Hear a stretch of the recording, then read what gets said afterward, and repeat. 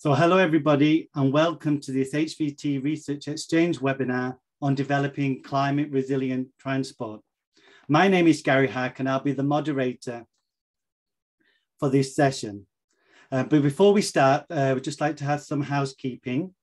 This webinar is being recorded. Presentations will be shown in the webinar.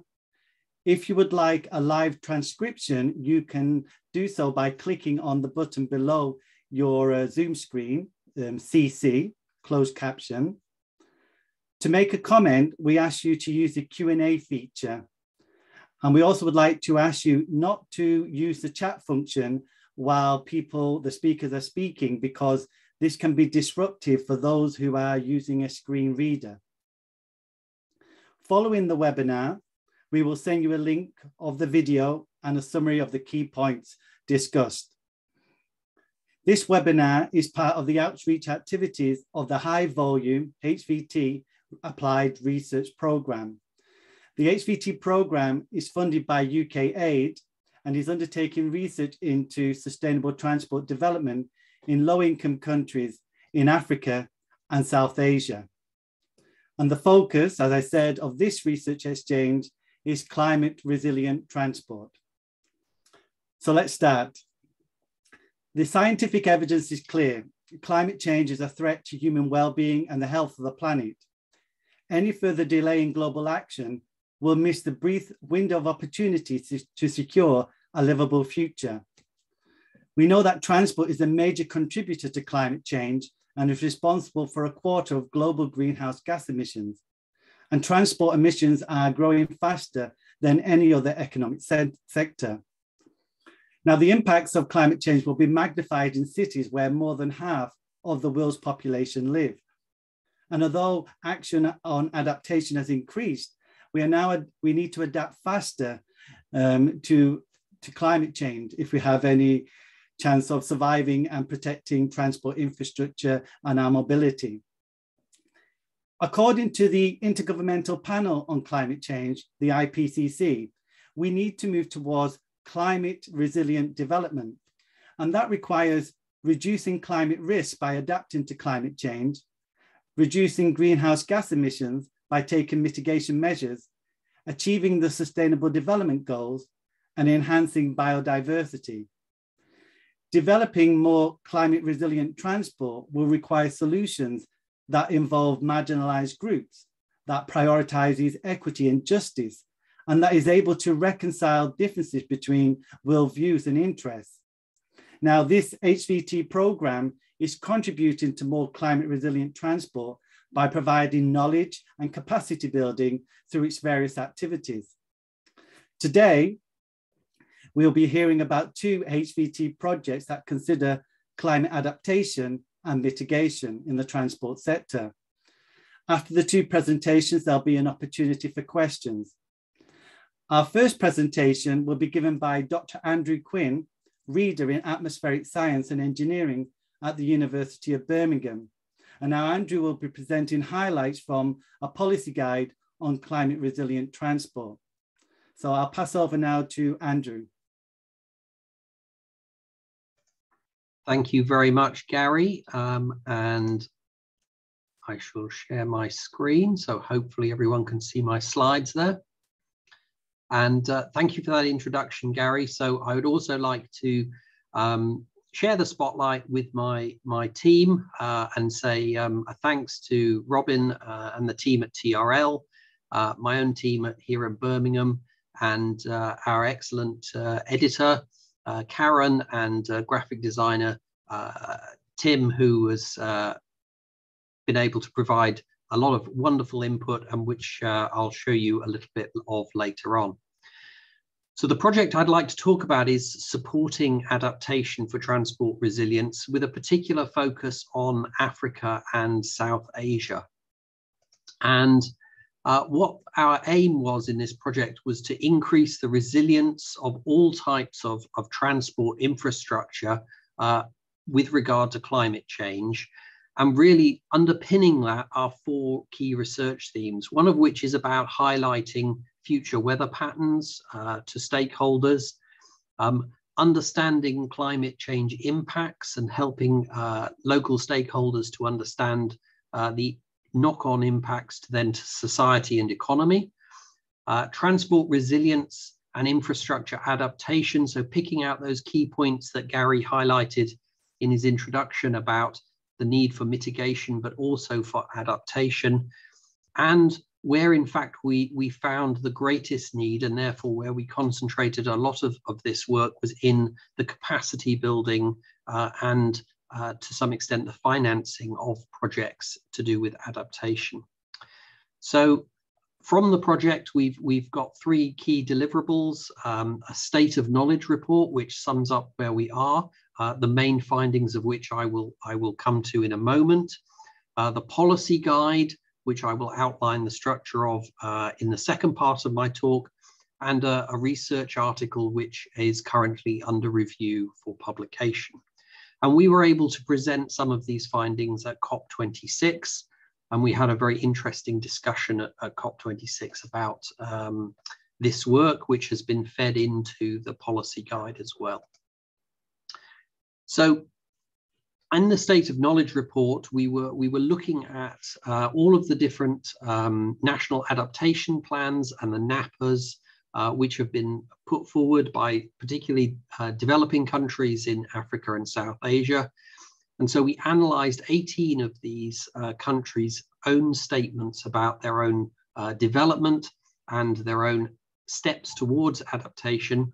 And we used a multi-criteria analysis based on ISO 1490, uh, which is the international standard for adaptation uh, and resilience development.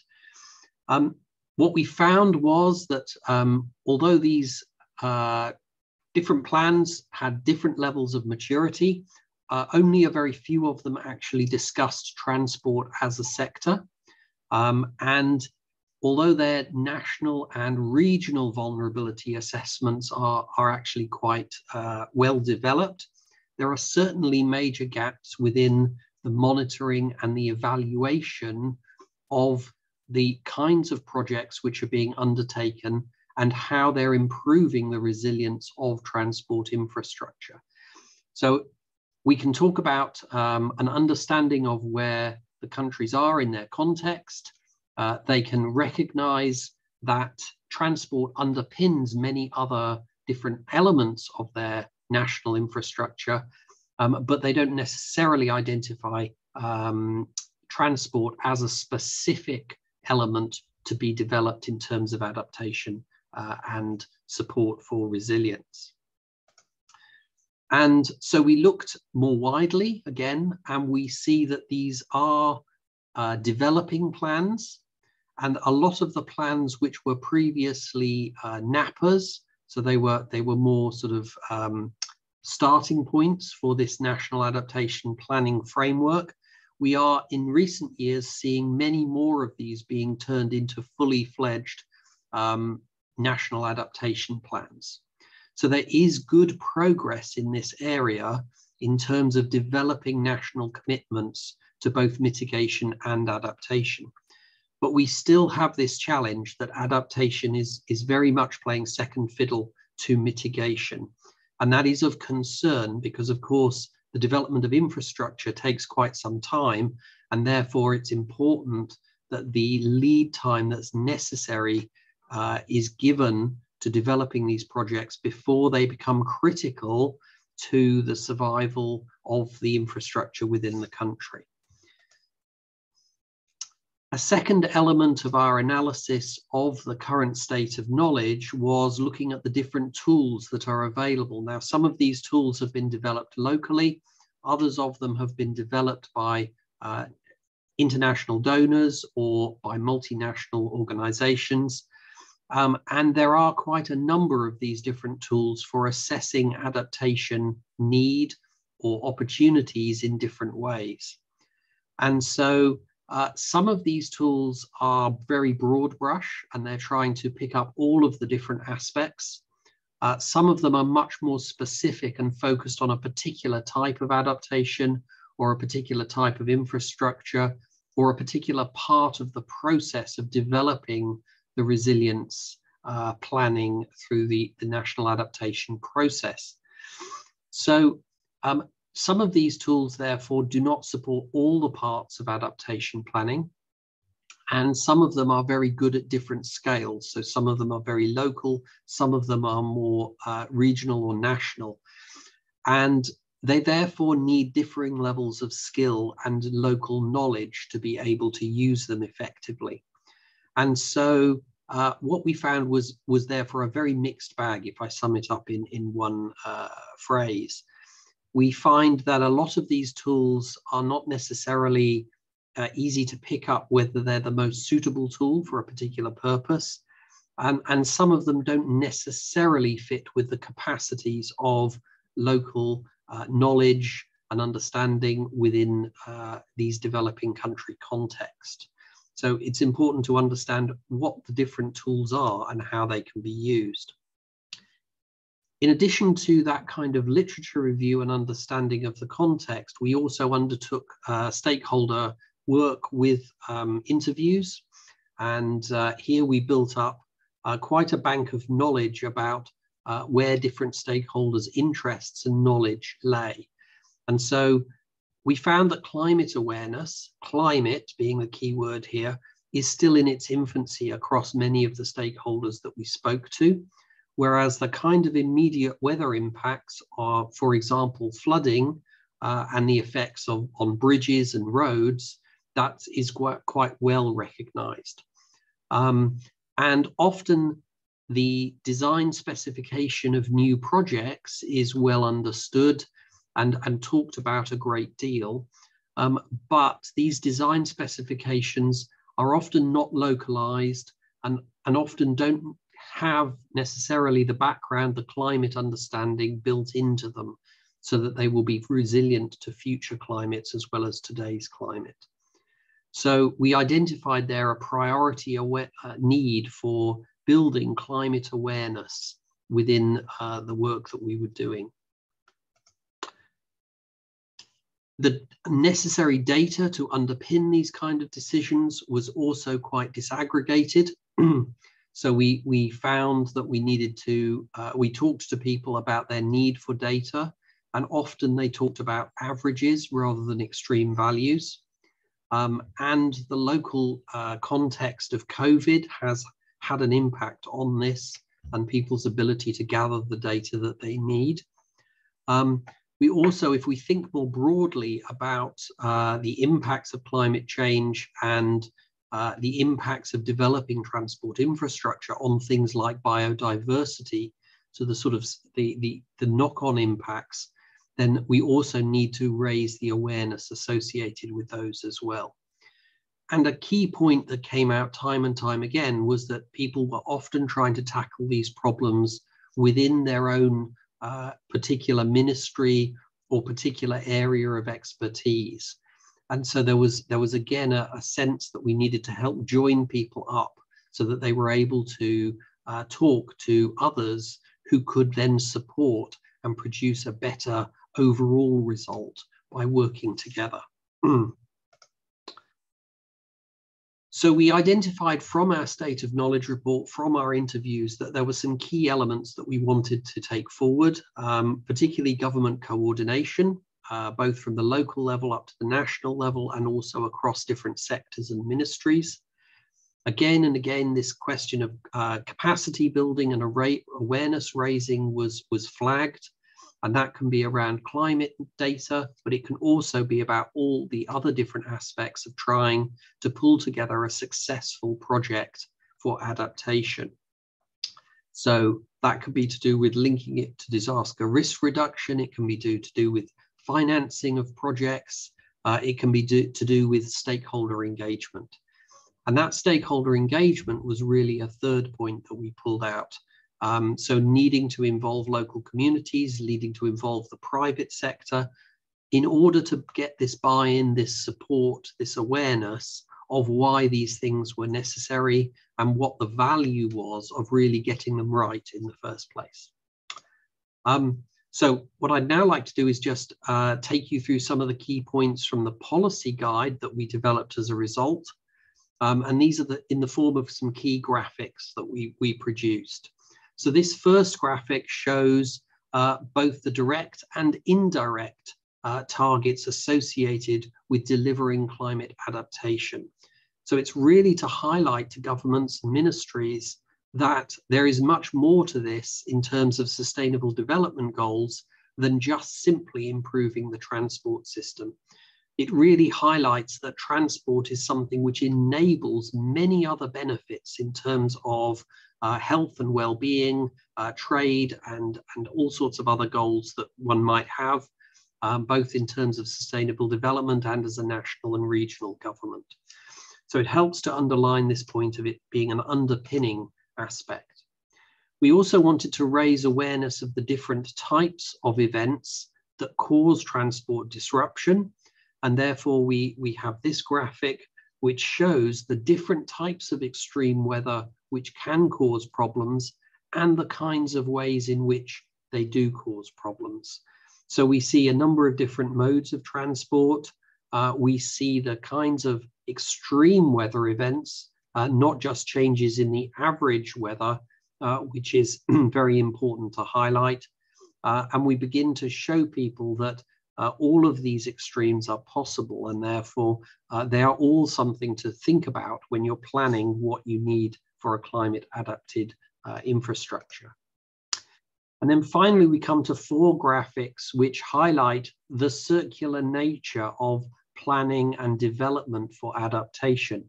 So in the top right-hand corner of this slide, you can see a circle, and this was our, our linkage to show that this is a uh, a process, a decision support process, which will help, but is something that needs to be repeated over time. And it shouldn't be a special project. It should be something which is built into the development of national infrastructure uh, in all sorts of different ways. So the first thing is to look at all of the modes together, to involve stakeholders and to think about different scales. So they're right the way from the local scale up to the global scale and to consider all of the different hazards that might be important in the future, not just today. The second uh, slide shows the need to develop an understanding of the data that's available and to highlight that the, the variety of different data which is available to people. People often weren't aware of the depth of the data that is available to them. So understanding the past and the future climate, understanding the vulnerability of transport infrastructure and understanding what the local context of that is, and therefore how developing it and how making it more resilient will actually be of benefit to the people who use it. And then using that information to do a risk analysis that allows a proper set of priorities to be developed. So obviously you can't fix everything immediately, so it's important to start developing ideas for what is the highest priority, what is the, the best way in which we can engage with this. Having developed some priorities, we move on to the third slide, which is about considering the options of what can be done. And so often I, in my experience, have seen the development of options which have basically been pre-prepared rather than considering a greater range of options of what could be done.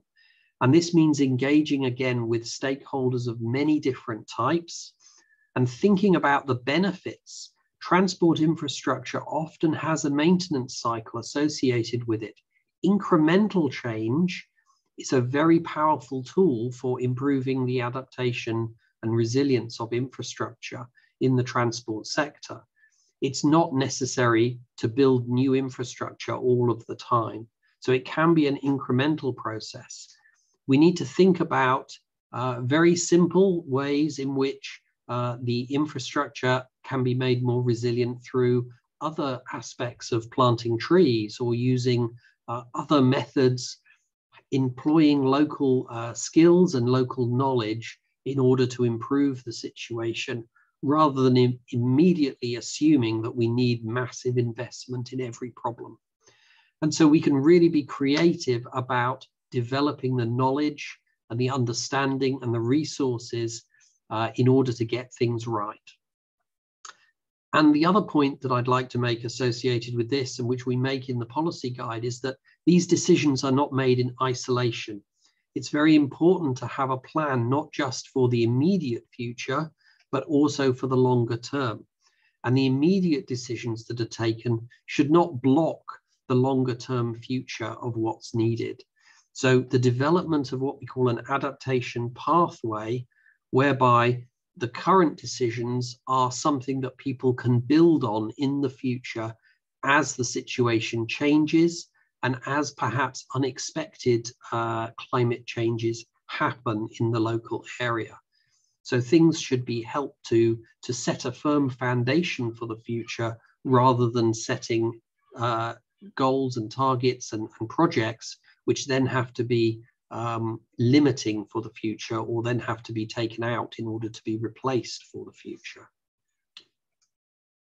And then, of course, implementing those options is something which is of key importance. And here is where we bring in the need for considering uh, secure funding for projects, but also thinking about how it fits into the wider uh, landscape of sustainable development for the local area, for the region, and for the national economy.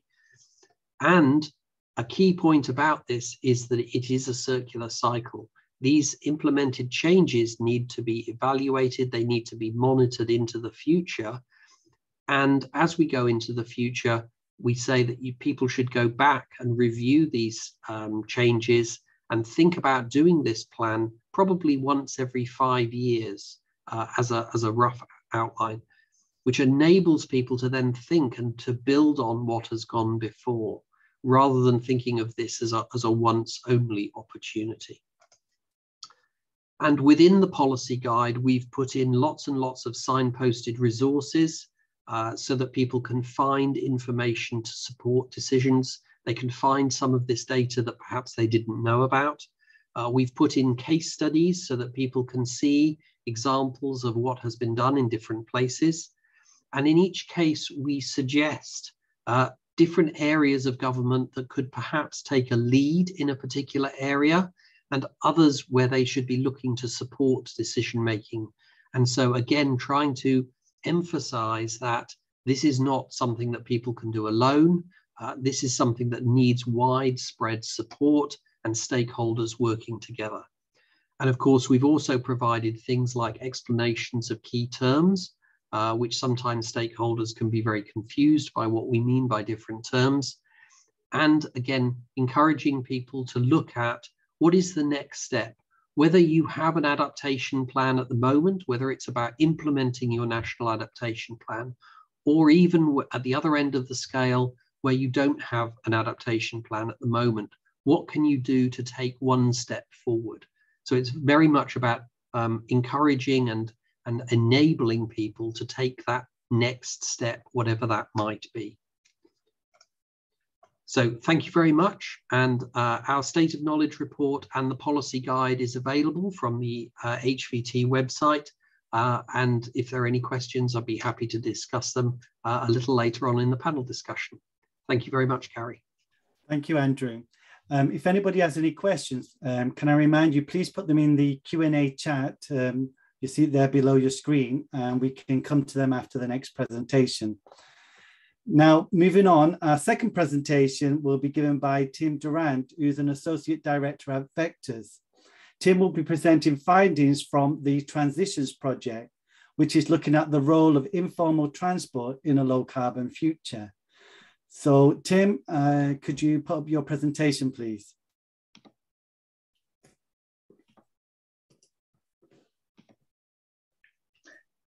Thank you very much, Gary. Hopefully you can see the presentation and hear me now. Yes. Great, thank you. Um, well, uh, hello everybody, and, and thanks very much for the, the opportunity today to present about the, the, the Transitions project. Um, I just uh, make sure I can get through the slides. Here we go.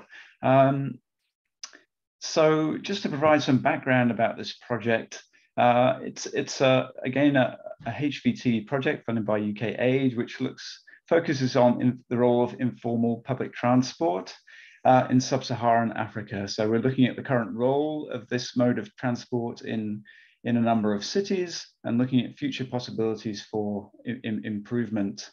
I'm sure many people on the on the call today will have their their own experiences of, of using uh, these informal transport modes in, in different cities. In, in my case, uh, riding using matatus in in Nairobi.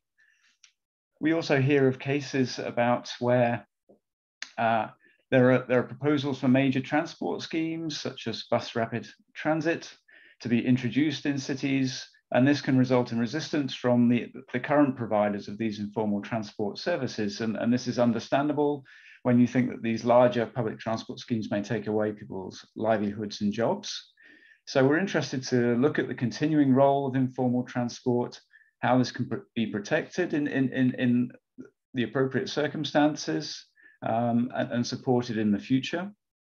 Uh, so as you can see from this uh, motivation and ambition slide, we're looking at transitioning the policy debate, stakeholder relations and informal transport services. We have a focus on, on around climate mitigation, but acknowledging also, of course, that local air pollution is, is, a, is, a, is a major issue in, in cities. How we continue to provide affordable, affordable mobility uh, with these modes of transport while retaining employment and, and improving safety. So we acknowledge that there are nevertheless problems with these forms of transport, but there's there's potential for, for continuing support and, and, and improvement in these in these services. So as I mentioned, the, the, the project uh, is actually focused on sub-Saharan Africa. Uh, and at the beginning of the project, we, we identified a number of research cities to work with.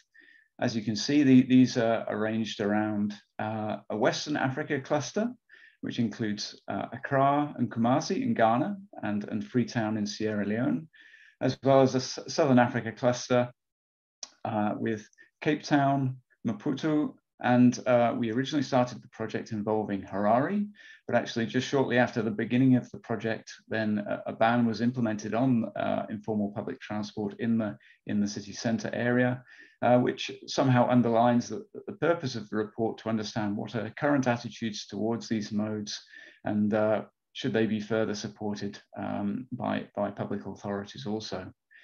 Uh, the, the statistics on, on, on the left in the table just show the, the, uh, the modal share that these, that these types of minibus transport, the informal public transport has.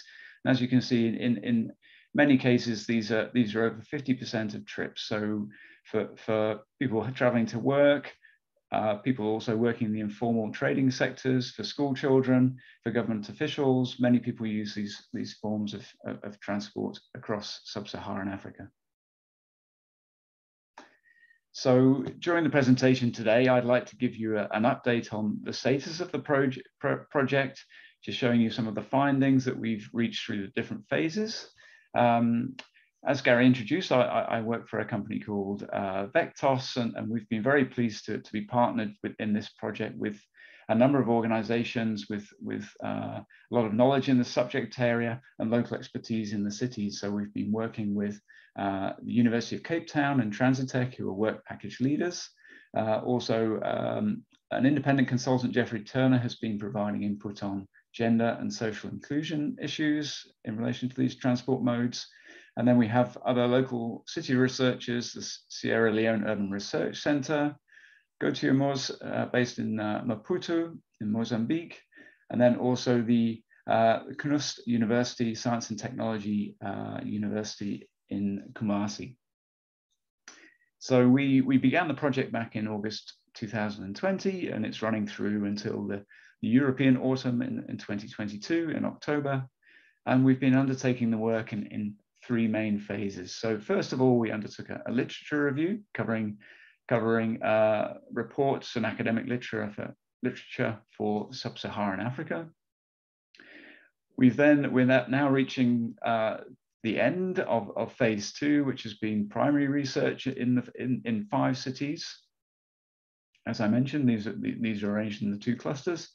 And, and moving into phase three, which is development of the route map tool and beginning our to, to spread the word about the, the, research we've been doing. So just to start with the literature, literature review, Uh, and so, first of all, it was important for us to uh, define the scope of what we were looking, at, the research we were undertaking. The term informal transport covers a, a wide range of, of, transport types from motorcycle taxis and three-wheelers up to the types of minibuses that you see in, in, in the picture here. Uh, we have decided to focus on uh, what, we, what we're presenting as informal public transport. So these, this means that uh, when a passenger take, uh, uses one of these services, they're not able to determine the route and the destination on their own. They're traveling with other passengers who may be getting off, on and off at different stops.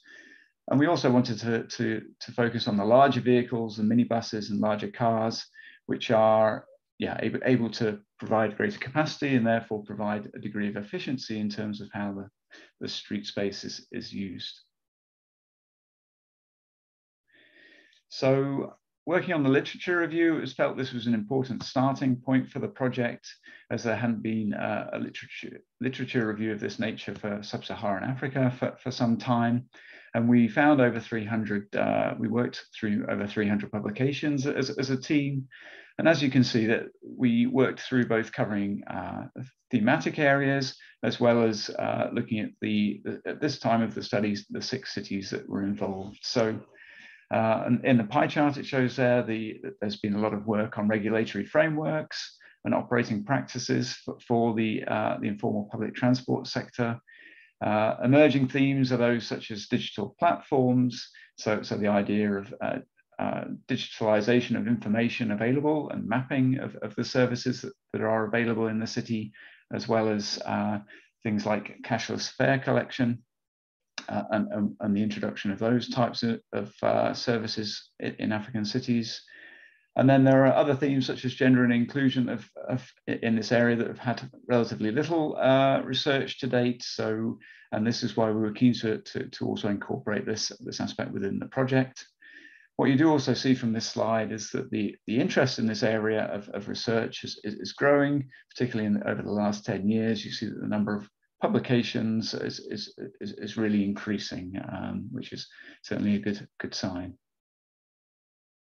Uh, another thing from the literature review was that we noticed there's been a there's been a certain amount of focus in in particular countries, as you can see, South Africa, uh, Kenya, and Ghana have received most attention, um, whilst other areas are have relatively little research or, or have not been captured in, in the literature review at all. Um, so this is something that we'd like to begin to address also in our, in our uh, dissemination phase by speaking more with cities that are still shown, uh, sorry, speaking with cities that are still shown white uh, uh, on, this, on this map.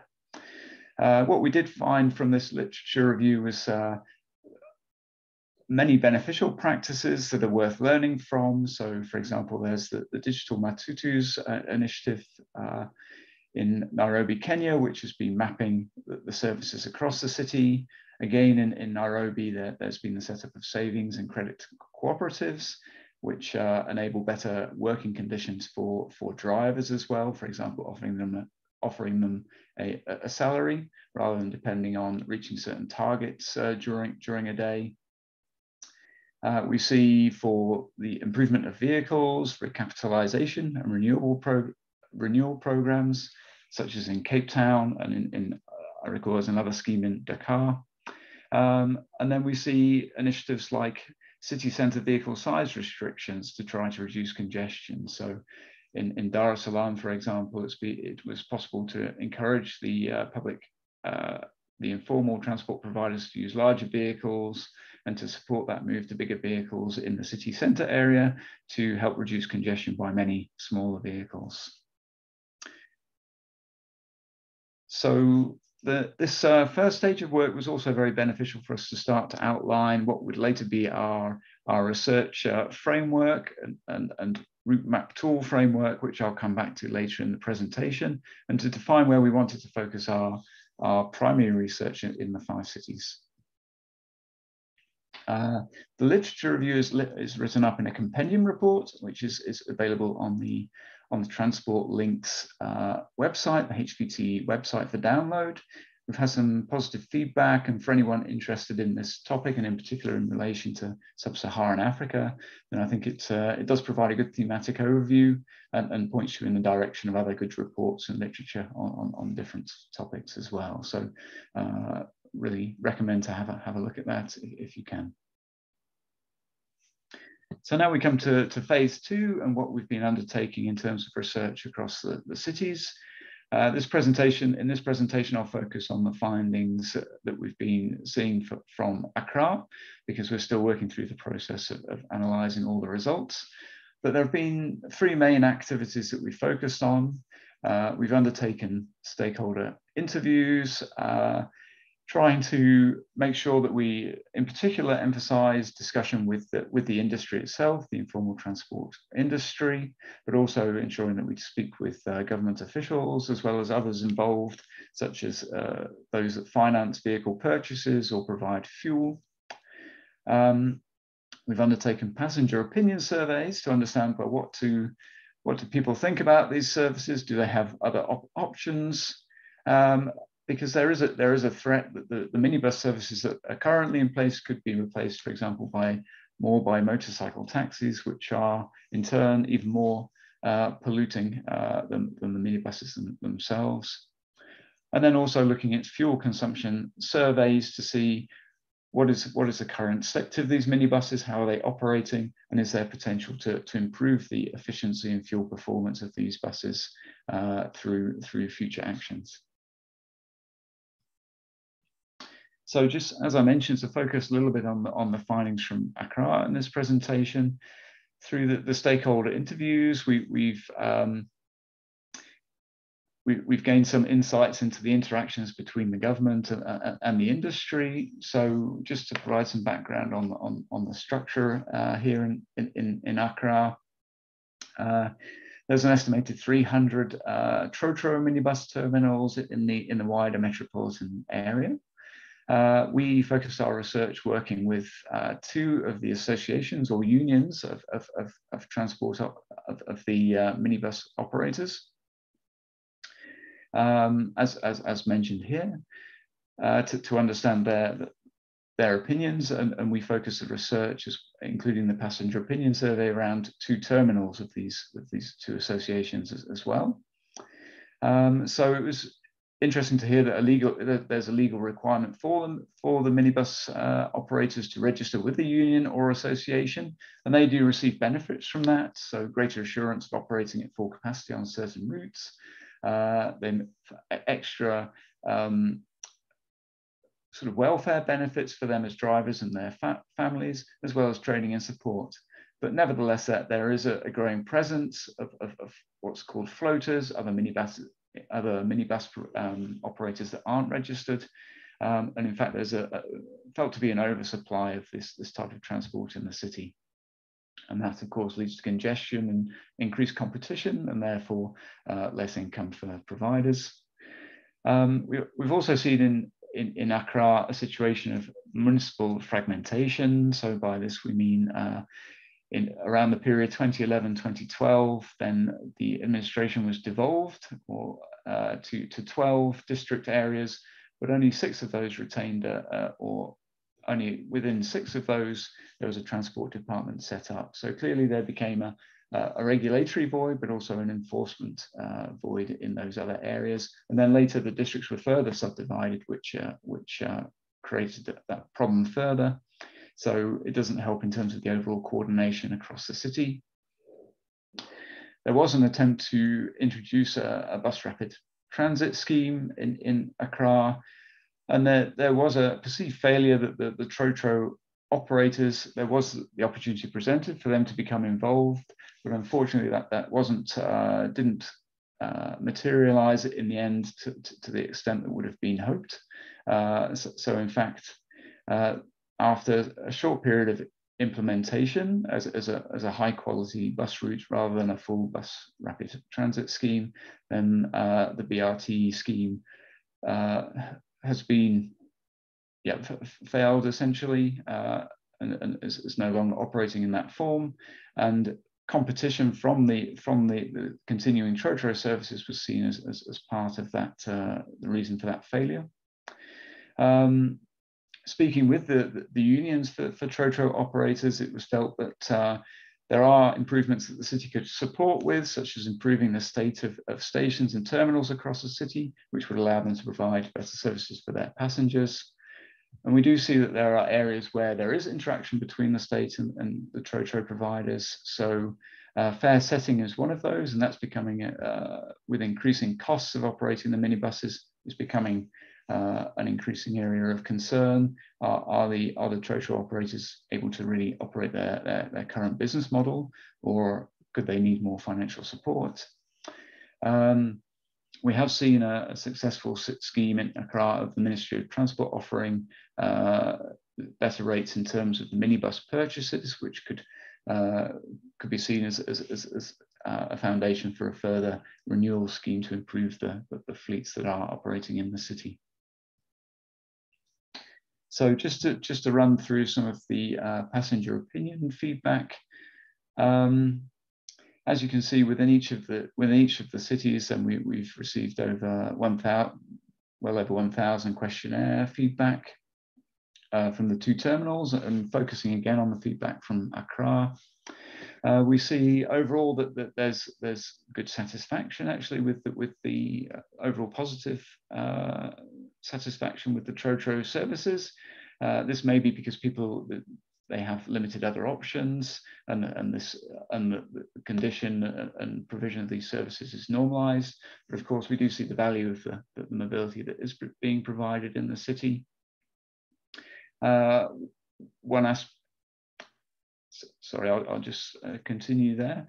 One aspect where um, there's less satisfaction is in terms of the, the fare levels.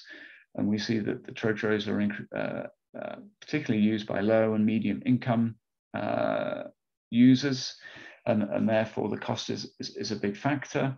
Um, but we also understand that the, the providers may be operating also within very tight margins. So, so the cost of mobility overall is, is, is becoming a, a, a big problem. Um, in terms of road safety, then again, perhaps we see that more people are uh, less worried by safety issues uh, using the Trotros than we, we might expect. But again, this may be a degree of normalization that uh, people are, are, used to using these vehicles and don't see risks. We do see there's a difference in opinion there between uh, women and, and, and men, uh, reflecting perhaps um, more risk adverse attitudes, um, typically, typically among women. Um, and then we've got, to, and then we've had some feedback on the, the, the, particular aspects that do require improvement and how the how the uh, Trotro unions and the government could work together on these. So some aspects are around drivers uh, going too fast and perhaps driving dangerously, and whether there could be training in relation to these aspects. Uh, the, the stations and terminals themselves not being in a good state of repair, and perhaps this is an area where more investment could be focused by, by uh, public authorities as well to improve the conditions for, for where people have to transfer from one minibus to another. Um, and again, the issue of fares and the cost of fares has, has, has come up again in, in, in, terms of particular issues that need to be looked at. So again, useful to have this feedback from, from passengers. Uh, a challenging but very interesting aspect of the research has been undertaking the, the fuel consumption surveys. Uh, unfortunately, we're still working through, through the, the data um, that's been collected from these. This involved uh, attaching fuel probes to, to vehicles and then also tracking their movements with GPS trackers. So there's a lot of work for us to, uh, for the team to, to do in order to, to, to bring through the results from this. What we do see in Accra is that there's a variety of uh, vehicles used, and these are typically uh, second-hand vehicles imported from North America or Europe, in some cases being converted from, from cargo vehicles to passenger vehicles. And of course, this brings, um, they are older vehicles, so of course, we, we could expect that they're, they're not as efficient as new vehicles and that they are they have higher uh, air pollution problems associated with them. The, the Trotro operators have also referred to the condition of the roads being a problem. So even when a, a vehicle arrives in good condition, that they are that they're, they're quickly affected by the, the road surfaces, um, and that of course uh, increases maintenance costs as well for the for the operators. So just, uh, I, am aware I'm taking up some- Three minutes. Sorry, Gary, how many minutes? About three minutes if you, uh, then we can have some questions. Absolutely, yeah, thanks. It's just the last couple of slides now. So, so we've been working through, um, working on our route map tool based on the research framework I, I, mentioned earlier. And we, we, we hope to have the opportunity to work on this with other cities as well to, to understand the situations that they also face. So this starts with a, a four-step process. So we start with understanding what, what are the current, what's the current context and what are the current attitudes amongst policy and decision makers towards the informal public transport sector. So this involves um, looking at the, the current network ca characteristics and service offer of, of, informal transport, as well as the benefits and, and the problems that it brings for the city, uh, and getting a good overview. We then look at how the, the industry is organized. Um, this includes in terms of the, the, financial models that operate and how this also affects labor conditions and, and remuneration for the drivers and other crew members. Uh, we also look at the engagement context. To, to what extent do, do, does the industry feel it can, can engage in, in, in policy and decision making and mobility planning in a city? The, the third step there is about city capacity and capabilities. Um, different uh, cities have are, for example, uh, enforcing license different licensing and regulation schemes. They may be setting fares for, for, for, the industry, but there can be issues around enforcement. And of course, enforcement uh, does require uh, a certain degree of capacity as, as well within a city. So when we're recommending actions, we have to take that capacity of, of cities into, into account. Um, and that brings us through to a, a, range of different actions that could be taken. So these could be, for example, very briefly, uh, infrastructure actions, providing uh, improved terminals or, or, dedicated lanes for uh, informal public transport services. Uh, there could be mechanisms to improve the fleet and, and fuel uh, qualities, and, and this is maybe something where the international uh, international community can become more involved as well aspects such as business development and training for, for, for uh, unions and, and, individual uh, vehicle owners and operators. And then also looking at the passenger experience, can we provide better information on, on routing and, and better, better conditions on, on in terms of their actual experience of using these services? And just linking back briefly before I finish to, to Andrew's presentation, uh, it's we see that, uh, in fact, our project is focused on the, the, the, mitigation and reducing emissions, but we also need to think about the, the adaptation story as, as, as well. Here, uh, climate adaptation and the involvement of the transport industry in that. So here we could, we could think about involving the inf informal uh, transport uh, industry in terms of planning of uh, preventative measures, how do we av av avoid uh, dangerous situations and in, uh, from weather events or in pandemic situations, preparedness when those situations do occur, uh, who is taking, who should be taking, um, yeah, who should be making those decisions also at the response level. Um, what are the lines of communication there if, if, if, if a certain situation does occur? And then later on the recovery and learning from that from that experience also also through that stakeholder engagement. And, and, we see that the more we can we can invest in that first step of prevention and then preparedness then hopefully the less will will be required in terms of response and, and recovery so just just then the, the, closing remarks from my side. So we obviously the, the project is still in, in progress. The research is, is largely com largely complete, um, but we are we're looking forward to, to publishing more of the findings in the near future and undertaking that cross-city analysis. We'll also be uh, planning some workshops where we hope to invite other cities, as I mentioned, those that perhaps haven't had so much research or support in, on this topic in, in the past, uh, so they'll be taking place in Accra and Cape Town during July and July and August. So if, if anyone's on the call today and is interested to, to, to, to, to uh, be involved in those, then please do contact me.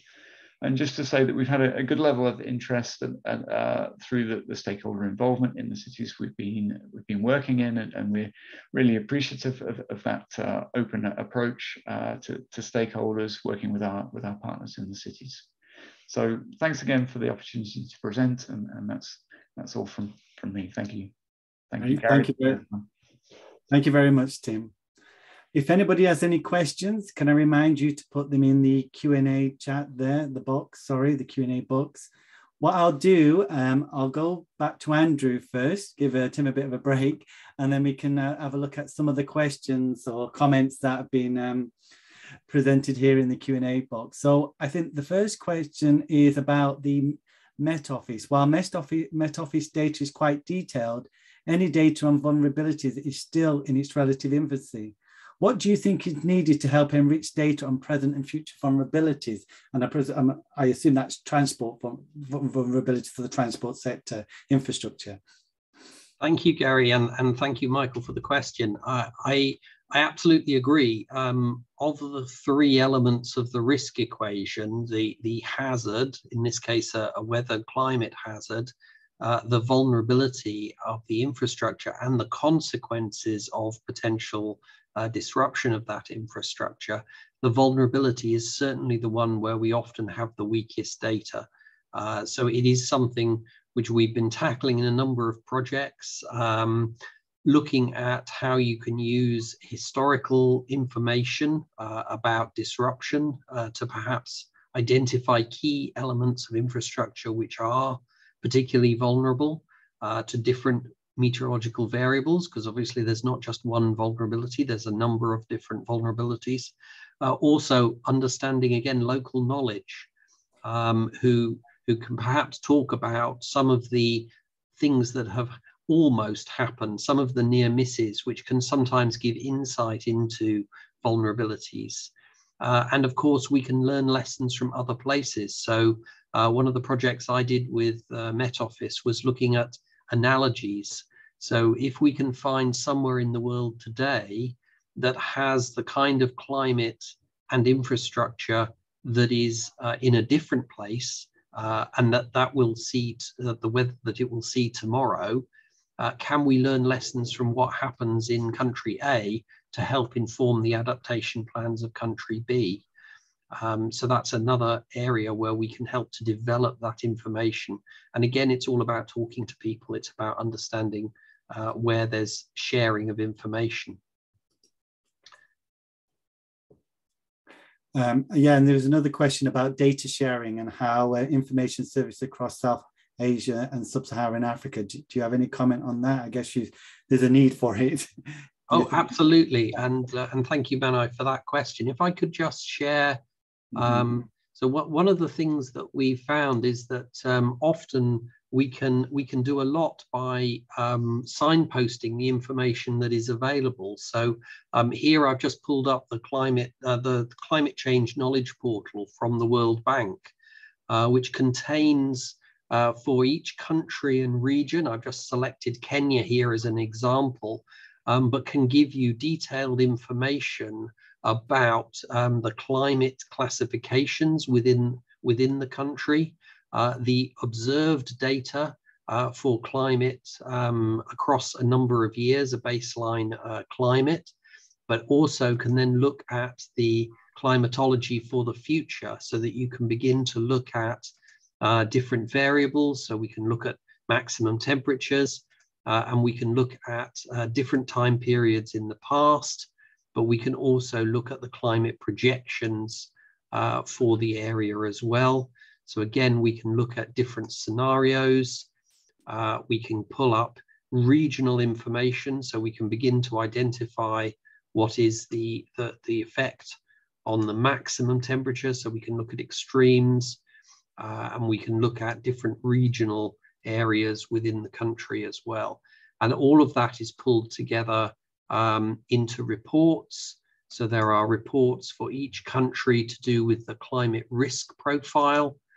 Uh, so here is a full climate risk profile report for Kenya, uh, where they go through all sorts of different key sectors, um, which we can look at uh, and, and have data around. So often it's a case of um, helping people to find the data that, that is available for them uh, for their particular region. And again, if people are wanting to delve into that data in, in more depth, even more depth, uh, then of course all of the, the major climate modelling um, organisations, so the UK Met Office, uh, the European Centre for Medium Range Weather Forecasting, uh, the US uh, Meteorological Services, all have their own models, and all of that data is available through the UN uh, ICC um, portals. So people can really get a, a, a massive depth of data, uh, and often that is informing their local Met Office on uh, their local um, regional models as well. So absolutely, I agree that, that we need uh, good information sharing, um, and, and we really do need to make the make good use of this data that's that's there. But a lot of it is there for people to delve into.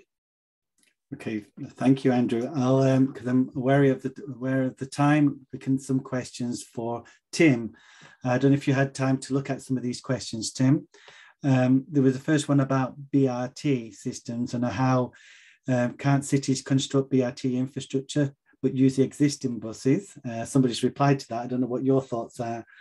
Um, yeah, I, I, I, saw that question, and thanks thanks very much for that. I, I think in a way that's, a, an interesting um, comment to, to, to the, the, the, point at the main point of the project that um, where you where you're looking at uh, making a, a, big change in the city, uh, clearing a route for for a BRT uh, service and, and providing perhaps new, new vehicle infrastructure as well. This, this is a big project and it can take a lot of time, may have delays. So part of what we're looking at really is how could we work with the existing industry, the, exist, the existing fleet, as you say, but improve the conditions of their operation. And some of that will be about managing the existing infrastructure in, in a better way.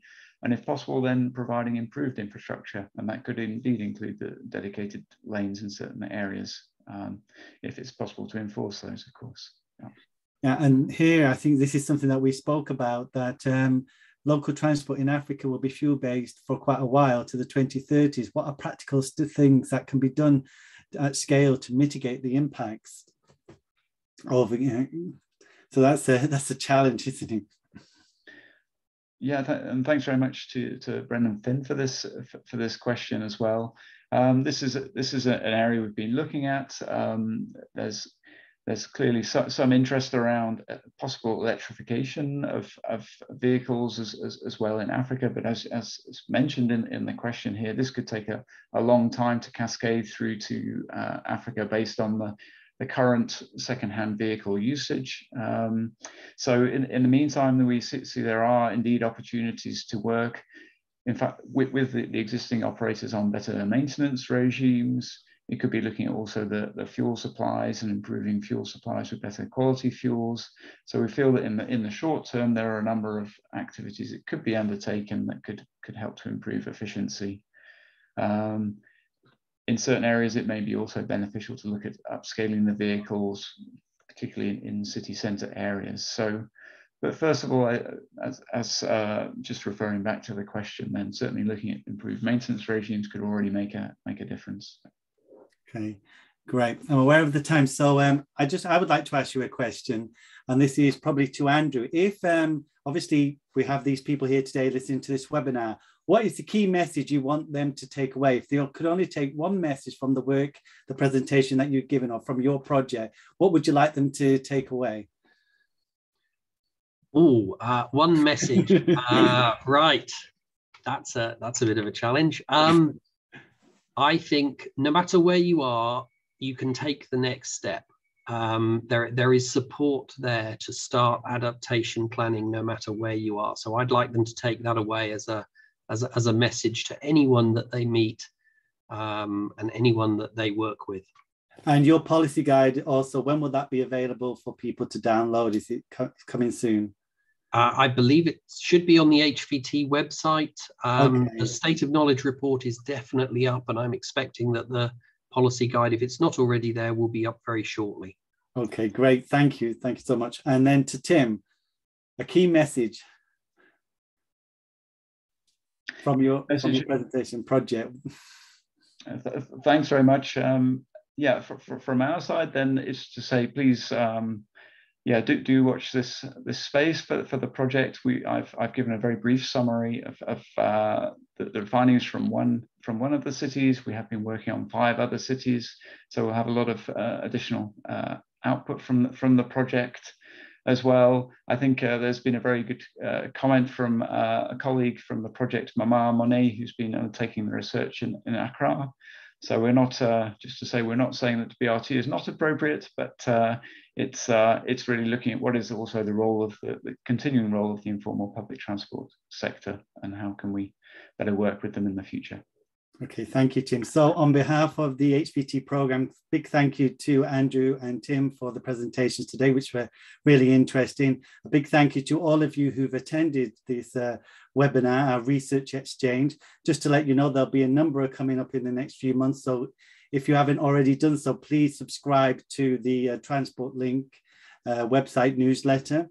Um, we'll be sending a recording of this uh, session after the event. And I think maybe also if you can share some of the presentations, some people have been asking for that. So um, thank you again, everybody. And I think, uh, yeah, 301. So I think we should uh, finish this webinar. So thank you and have a good day, evening. Thank you very much. Bye.